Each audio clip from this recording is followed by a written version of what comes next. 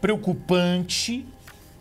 A apresentadora Ana Hickman volta a ser perseguida, está sendo ameaçada e o marido da apresentadora deu alerta nas redes sociais. Ana Hickman que já viveu uma situação trágica por conta de ameaças que começaram nas redes sociais. Fabiola vai contar tudo agora pra gente.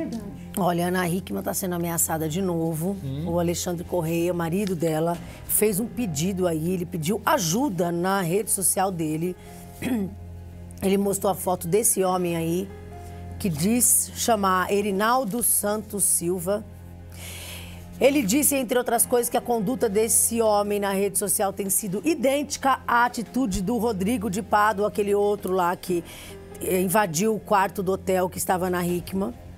Ele pediu, o marido da Ana Hickman pediu que se alguém tiver notícia ou souber quem é essa pessoa, para avisar e garantir o total sigilo e recompensa.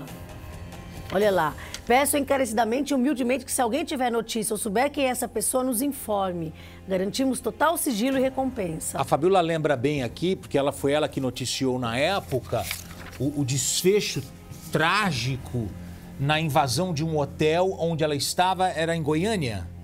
Ou, ou Minas? Eu acho que era Minas. Era Minas, era Minas. Em Minas Gerais, Belo Horizonte. em BH, estava Ana Hickman num hotel, um homem armado entra, invade o local onde ela está, e se não fosse o cunhado da Ana Hickman ter reagido, Ana Hickman poderia ter sido morta, mas a esposa do, do, Do cunhado foi baleada. cunhado acabou levando um tiro. Tiro no abdômen. Tiro no abdômen. Isso. Não, e, e- e ficou viva aí por pouco, né? Porque olha que perigo. Ameaças que começaram nas redes sociais também. Começaram nas redes sociais. Aí esse outro cara eh, descobriu onde a Ana Hickman ia estar.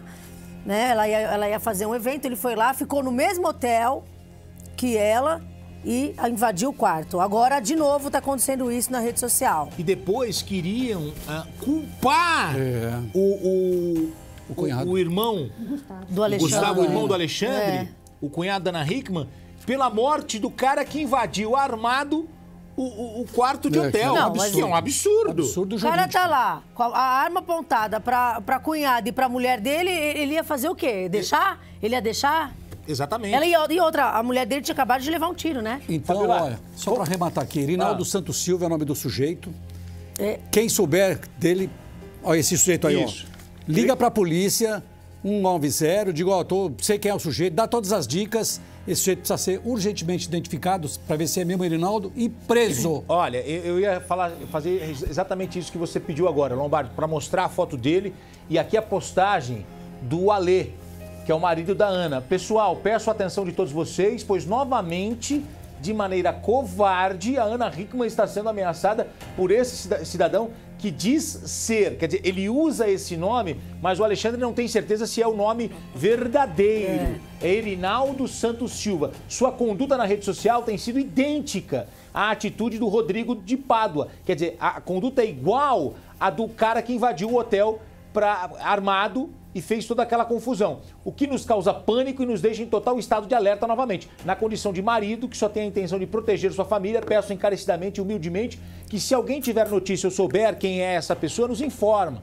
Nos informe. Garantimos total sigilo e recompensa. Muito obrigado pela ajuda de vocês. Não podemos deixar isso continuar. Ele está sendo contundente aí, o, o, o Alexandre. Acho que ele fez bem de postar isso aí, viu? Curioso? Baixe o Play Plus em playplus.com, na Google Play ou App Store.